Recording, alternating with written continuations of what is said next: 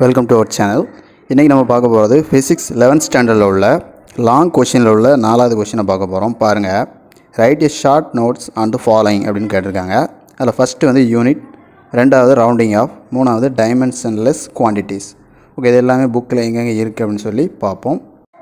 புக்கில் page number எயிட்டில் one point four point த்ரீல ரெண்டாவது பேராகிராஃப் பாருங்கள் இதுதான் யூனிட்டுக்கான டெஃபினேஷன் ஸோ யூனிட் அப்படின்னா என்னென்னா and arbitrarily chosen standard of measurement of a quantity which is accepted internationally is called unit of quantity.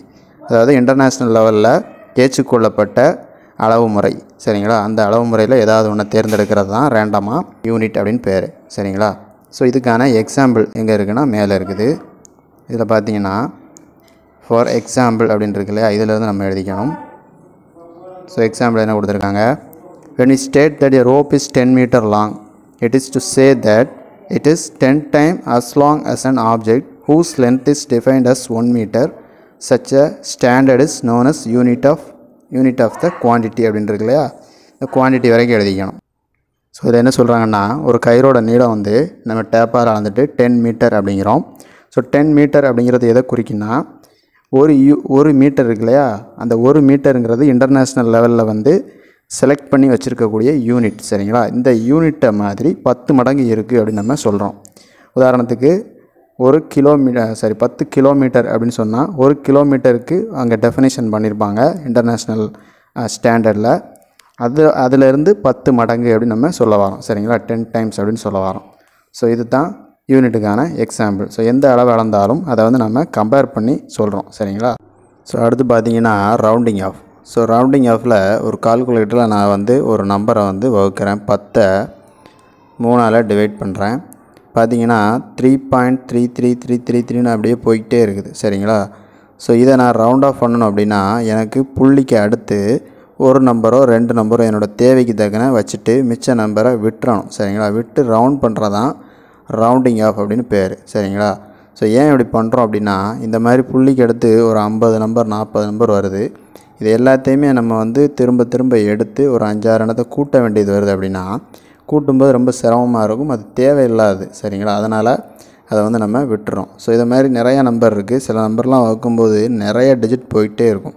So இதெல்லாம் பாருங்கள் எத்தனை டிஜிட் பத்து டிஜிட் கிட்டே இருக்குது டாட்டுக்கு அடுத்து. ஸோ இந்த மாதிரி நம்பர்களை சுருக்கமாக நமக்கு தேவைக்கு தக்கன சுருக்கிறதுக்கு பேர் தான் ரவுண்ட் பண்ணுறதுக்கு பேர் தான் ரவுண்டிங் ஆஃப் சரிங்களா?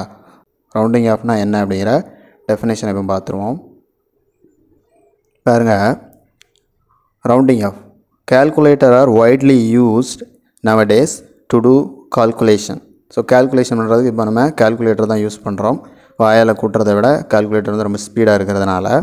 The result given by a calculator has too many figures அதோட ரிசல்ட் வந்து எப்படி இருக்கும்னா பின்னால் நிறைய நம்பரை காமிக்கும். ஃபுல் டீட்டெயிலாக காமிக்கும். சரிங்களா? Too many figures in no case should the result have more significant figure than a figures involve in a data used for calculation இப்போ இந்த மாதிரி நிறைய நம்பர் கால்குலேட்டர் காமிச்சாலும் எல்லா நம்பரையும் நம்ம எடுக்க போகிறதில்ல புள்ளிக்கு அடுத்துள்ள நம்பரை குறிப்பிட்ட நமக்கு தேவையான நம்பரை மட்டும்தான் நம்ம என்ன செய்ய போகிறோம் எடுக்க போகிறோம் the result of calculation with the numbers containing more than one uncertain digit should be rounded off அதாவது நமக்கு தேவையில்லாத அதிகமான நம்பரை விட்டுட்டு குறிப்பிட்ட நம்பரோட ரவுண்ட் பண்ணுறதுக்கு பேர் தான் ரவுண்டிங் ஆஃப் சரி. ஸோ இந்த ரவுண்ட் ஆஃப்க்கான ரூல்ஸை வந்து கொடுத்துருக்காங்க. இதில் எக்ஸாம்பிள் வந்து ரைட் சைடும் ரூல்ஸ் வந்து லெஃப்ட் சைடும் கொடுத்துருக்காங்க. நம்ம எக்ஸாம்பிள் ஒவ்வொன்றா பார்த்துட்டு இதை பார்த்தோம்னா தெளிவாக புரியும். ஸோ ஃபஸ்ட் எக்ஸாம்பிளை பாருங்கள் ஃபஸ்ட்டு ஒன்றில் வந்து செவன் பாயிண்ட் த்ரீ டூ அப்படின்னு இருக்குது இதை ரவுண்ட் ஆஃப் பண்ணி செவன் பாயிண்ட் த்ரீ அப்படின்னு போட்டிருக்காங்க. இதுக்கு என்ன காரணம் அப்படின்னா செவன் பாயிண்ட் த்ரீ டூவில் த்ரீக்கு அடுத்துள்ள நம்பர் அஞ்சு அல்லது அஞ்சை விட கம்மியாக இருக்கிறதுனால அந்த கடைசி இலக்கத்தை ட்ராப் பண்ணிவிட்டு விட்டுட்டு இந்த த்ரீயை அப்படியே எழுதிடணும் இதுதான் ஃபஸ்ட் ரூல்ஸ் ஸோ ஃபஸ்ட் ரூலை வாசித்து பாருங்கள் if the digit to be dropped is smaller than five ஃபைவை விட சின்னதாக இருந்துச்சுன்னா நம்ம எந்த நம்பரை விட போகிறோமோ அந்த எண் ஃபைவை விட சின்னதாக இருந்துச்சுன்னா தென் த ப்ரொசீடிங் டிஜிட் சரி preceding digit should be left unchanged அப்போ அதுக்கு முந்தின உள்ள நம்பர் வந்து எந்த சேஞ்ச் பண்ணாமல் அப்படியே எழுதிக்கணும். செவன் பாயிண்ட் த்ரீ அப்படின்னு எழுதிக்கணும். சரிங்களா? இது வந்து ஃபஸ்ட்டு ரூல் ரெண்டாவது ரூலை பாருங்கள் ஸோ ரெண்டாவது ரூலுக்கான ஒவ்வொன்றிலையும் ரெண்டு ரெண்டு எக்ஸாம்பிள் கொடுத்துருக்காங்க. நான் ஒன்றே ஒன்று சொல்கிறேன் ஸோ இது ரெண்டாவது ரூலுக்கான எக்ஸாம்பிள் அதே மாதிரி செவன்டீன் பாயிண்ட் டூ சிக்ஸ் அப்படிங்கிறத ரவுண்ட் ஆஃப் பண்ணும்போது செவன்டீன் பாயிண்ட் த்ரீன்னு எழுதுகிறோம் இது ஏன் எழுதுகிறோம் அப்படின்னா இப்போ இந்த சிக்ஸுங்கிற இந்த டிஜிட்டை வந்து நம்ம விட போகிறோம் ட்ராப் பண்ண போகிறோம் செவன்டீன் பாயிண்ட் டூ சிக்ஸில் சிக்ஸை விட போகிறோம் சிக்ஸுங்கிறது ஃபைவை விட பெருசாக இருக்கிறதுனால அதுக்கு முன்னால் உள்ள டிஜிட்டில் ஒன்று கூட்டிக்க போகிறோம் so seventeen point three so இதுதான் ரெண்டாவது ரூல் ரெண்டாவது ரூல் இப்போ வாசித்து பாருங்கள் if the digit to be dropped is greater than five ஃபைவை விட கிரேட்டராக இருந்துச்சுன்னா then the pros then the preceding digit should be increased by one so அதுக்கு முந்தின உள்ள நம்பர் வந்து ஒன்று கூட்டிக்கிறணும். சரிங்களா? செவன்டீன் பாயிண்ட் டூ சிக்ஸை செவன்டீன் பாயிண்ட் த்ரீ அப்படின்னு எழுதிக்கணும். இது ரூல் நம்பர் டூ ஓகேங்களா? அடுத்த ரூல் நம்பர் த்ரீயை பாருங்கள் seven point three five two so இதை ரவுண்ட் ஆஃப் எப்படி பண்ணியிருக்காங்கன்னு பாருங்கள் செவன் பாயிண்ட் த்ரீ ஃபைவ் டூவை நம்ம வந்து இந்த ஃபைவ் டூவை தூர விட போகிறோம் ஸோ அப்போ அதுக்கு முன்னால் உள்ள நம்பரில் ஒன்றை add பண்ணிக்கிறணும். So first decimal become seven point four அப்படின்னு இருக்குது இப்படி ரவுண்ட் ஆஃப் பண்ணும்போது. ஓகேங்களா அதுக்கு அடுத்து பாருங்கள் இன்னொரு எக்ஸாம்பிள் கொடுத்துருக்காங்க. எயிட்டீன் பாயிண்ட் ஒன் ஃபைவ் நைனை எயிட்டீன் பாயிண்ட் டூன்னு போட்டிருக்காங்க. ஏதாவது ஒரு எக்ஸாம்பிள் எழுதுனா போதும். ஸோ இதுக்கு என்ன காரணம் அப்படின்னு பாருங்கள் if the digit to be dropped is five followed by digit other than zero then the proceeding digit should be raised by one அதாவது என்ன சொல்கிறாங்கன்னா நம்ம வந்து ஃபைவ் டூவை விட போகிறோம் அந்த ஃபைவ்லேயோ அல்லது ஃபைவை ஃபாலோ பண்ணி ஜீரோ இல்லாத ஏதாவது ஒரு நம்பர் வந்திருந்தாலோ உன்னால் உள்ள எண்ணில் ஒன்றை கூட்டிக்கணும். So seven point three five டூவில் த்ரீக்கு அடுத்து ஃபைவ் இருக்குது அடு அடுத்து வந்து ஜீரோ இல்லை டூ இருக்குது இப்படி இருந்துச்சுன்னா நம்ம என்ன செய்யலாம்? செவன் பாயிண்ட் ஃபோர்னு எழுதிக்கலாம். ஓகே அடுத்து நாலா நாலாவது நாலாவதில் உள்ள எக்ஸாம்பிளை பாருங்கள் த்ரீ பாயிண்ட் ஃபோர் ஃபைவ்ன்றது இருக்குது three point four five round off பண்ணி த்ரீ பாயிண்ட் ஃபோர் அப்படின்னு போட்டிருக்காங்க. நம்ம நார்மலாக பார்த்தோம். அஞ்சு அல்லது அஞ்சுக்கு மேலே இருந்தால் முன்னால் உள்ள டிஜிட்டில் ஒன்று கூட்டணும். ஆனால் இதில் கூட்டாமல் போட்டிருக்காங்க. இதுக்கு என்ன காரணம்னா இந்த நாலு அப்படிங்கிறது இரட்டைப்படை எண் சரிங்களா?